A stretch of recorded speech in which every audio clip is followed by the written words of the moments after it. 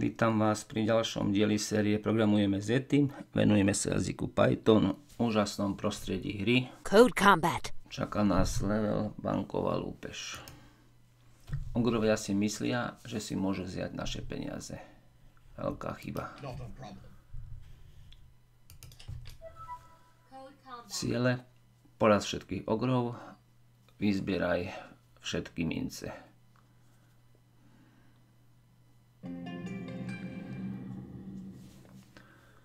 Tento program by vám už mal byť známy.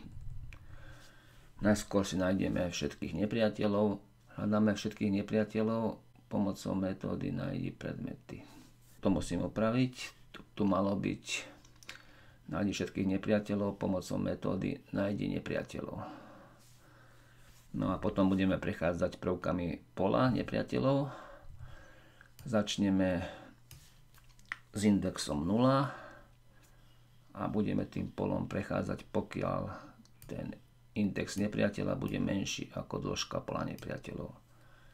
Vtedy budeme do premene enemy postupne pridávať nepriateľov jedného za druhým.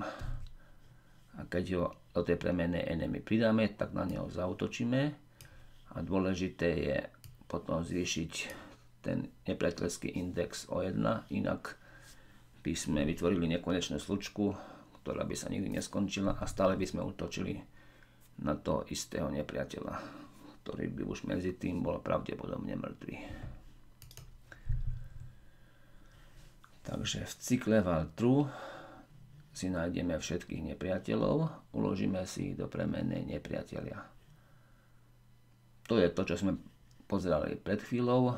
Začíname od indexu 0, pokiaľ ten nepriateľský index je menší ako dĺžka pola nepriateľov, tak si do premennej nepriateľ ukladáme jednotlivých nepriateľov od indexu 0 až po koniec, až po index, ktorý je o 1 menší ako dĺžka pola nepriateľov.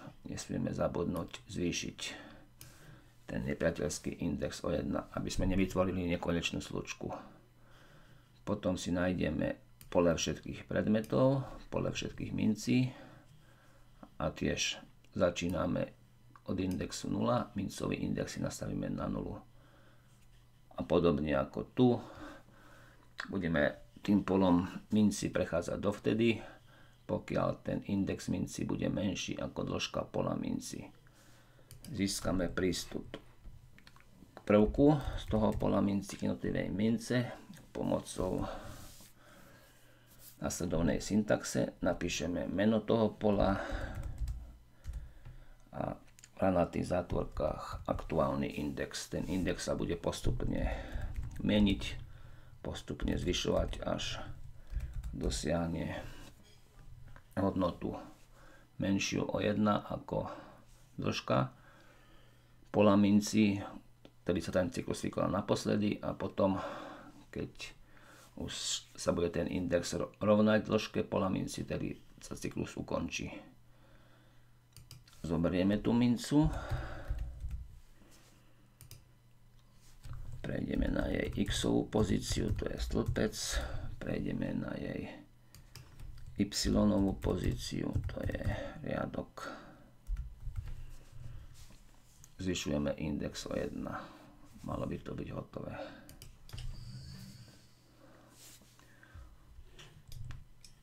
Uvidíme pole nepriateľov a pole minci.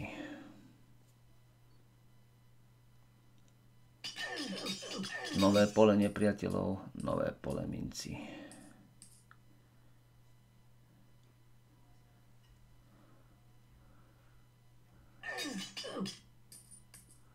Mince zbierame od najmenšieho indexu až po najväčší. Podobne Útočíme aj na nepriateľov